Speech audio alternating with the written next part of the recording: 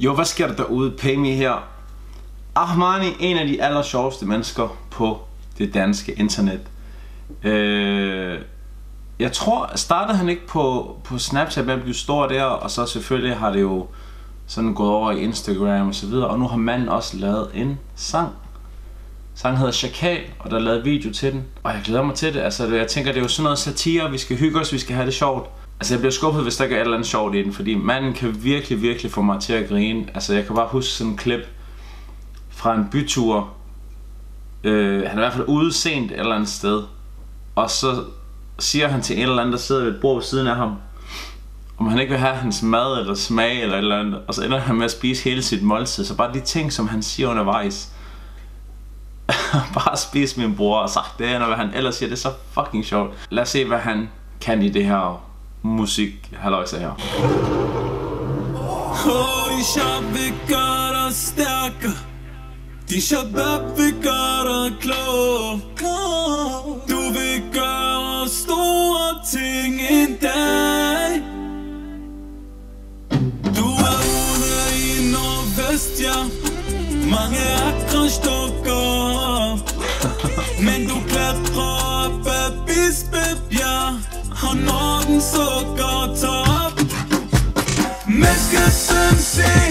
Ah, jeg skulle lige til at sige, lyder det ikke sådan mega Disney-agtigt, sådan helt filmagtigt. Og hvor er det her så fra? Det der kommer nu, det er 100% fra en eller anden Disney-film. Ah, Du bliver flikket fra den sag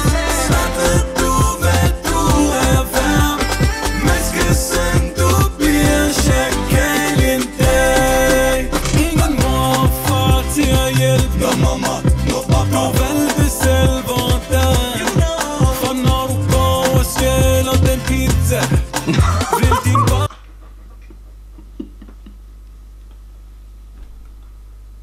det ser bare så åndssvagt ud. Bare tanken om, at du får stukket en pizza i hånden, og så løber du bare med den. Vil din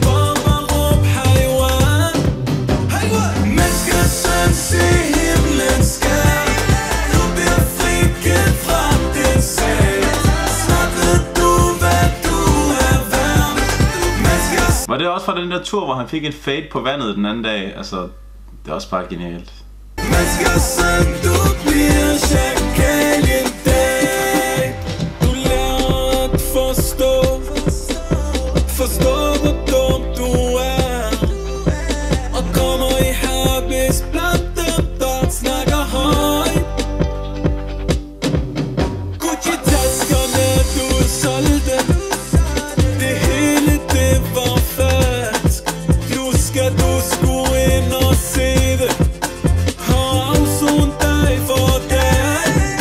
også nogle af jer derude, som har solgt de der AAA plus kopier. Der er også nogle af jer, som lod som om, at de var ægte.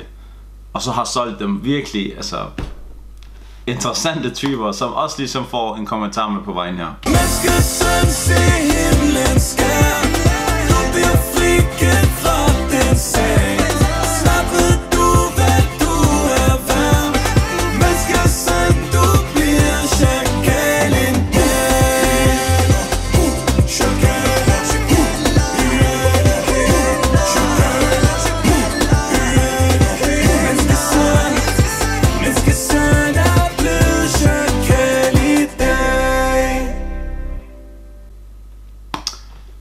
Altså, sangen er jo selvfølgelig fuldstændig vanvittigt sarkastisk hele vejen igennem. Du kan se det på ham og hans kropssprog.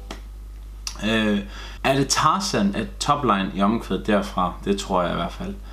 Øh, skriv hvad I synes. Det er selvfølgelig for sjov det her. Det er hygge. Hvordan har I det med det? Ahmani er så sjov en mand. Tak fordi I så med. Peace.